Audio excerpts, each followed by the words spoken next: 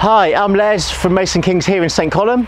Today I'm going to be talking you through the Z320R. The Z320R has got a John Deere V-twin engine in, which is 726cc. It has two independently driven wheels at the rear, which, which makes it rear wheel drive.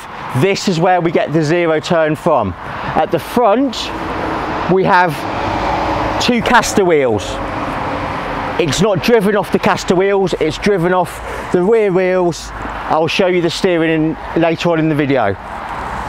The deck is a 42 inch deck with independent wash ports and front anti-scalping wheels.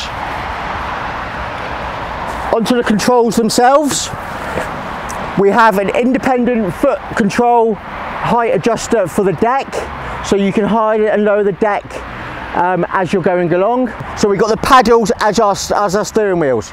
So we bring them in to begin. We push them forwards to move the machine forwards. We pull them back to reverse. If we want to go left, we would bring the left hand paddle down. If we would like to go right, we bring the right hand paddle down.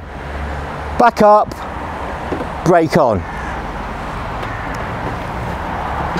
It's got an easy access um, fuel port to fill up with your unleaded fuel and then around the other side